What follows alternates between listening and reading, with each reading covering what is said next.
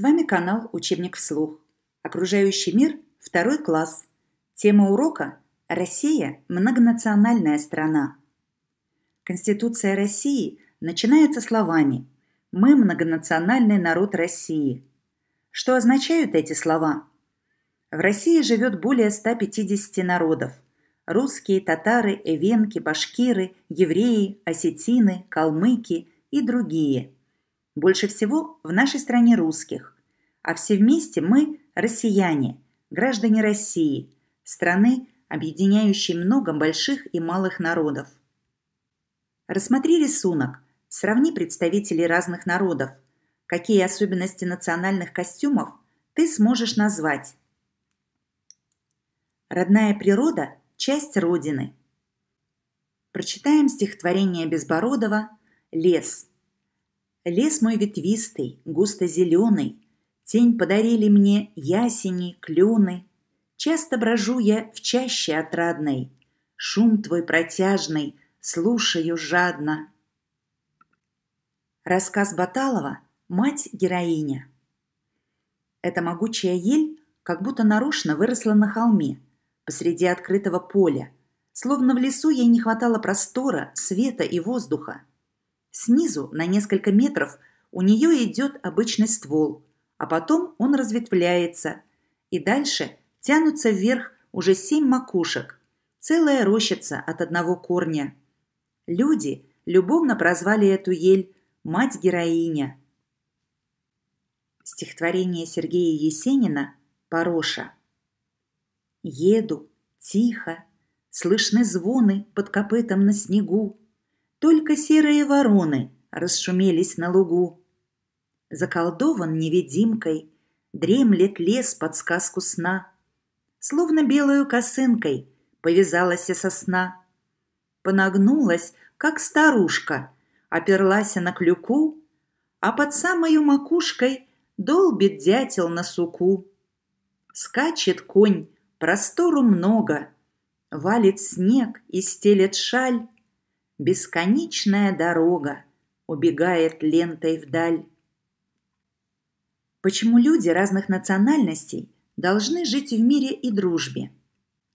Прочитаем стихотворение Ахматовой «Конек-горбунок». Гуляют сказки по земле Ершова, Дорожки детства расстелив у ног, И серебрится месяц, как подкова, Который был подкован горбунок.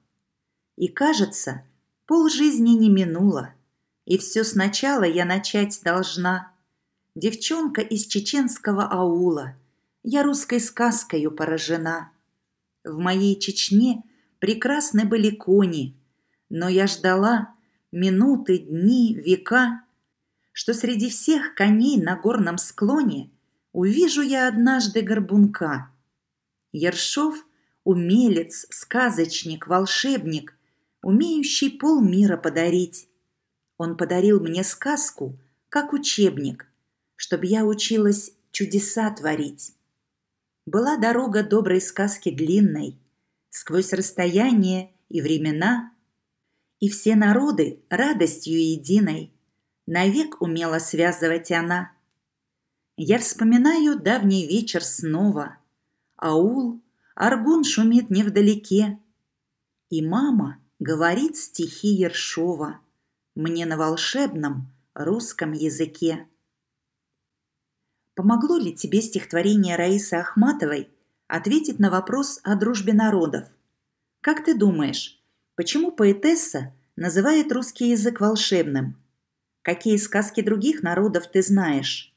О чем они рассказывают? Можно ли сравнивать сказки разных народов? Что их объединяет? Чем они различаются? Прочитаем отрывок из башкирского сказания «Красавица Хумай». В золотом дворце своем птица-девушка жила, Брови, словно два крыла, Черные косы, грудь бела, Из-под стрельчатых ресниц Очи ярче всех зорниц. Дивны волны кос густых, И звенят монеты в них, как у пчелки тонок стан, Голос ей хрустальный дан. Он поет на весь наш край. Имя девушки Хумай. Каждый народ талантлив. У каждого народа свои не только песни, сказки, танцы, но и предметы искусства. Среди русских много мастеров по плетению кружев. Во всем мире известны русские деревянные игрушки. Жители Крайнего Севера вырезают удивительные предметы из кости, а представители многих народностей Дагестана испокон веков славятся своими коврами и изделиями из металла. Рассмотри фотографии предметов народного искусства. Обрати внимание на их форму, узоры, раскраску. Можно ли сделать вывод, что предметы народного искусства любого народа красивы? Какие предметы народных промыслов есть у тебя дома? Откуда они? Страна одна, но разная она. Эвенка радует снегов голубизна. Карелу дорог блеск лесных озер, а Свану – гордый облик диких гор. Объясни, что означают выделенные в тексте стихотворения слова. Наша Родина, Россия, объединяет много разных народностей, каждая из которых имеет свои особенности – язык, историю, литературу, искусство. Но мы – граждане одного государства – и поэтому должны жить в мире и согласии. Тогда все будут счастливы.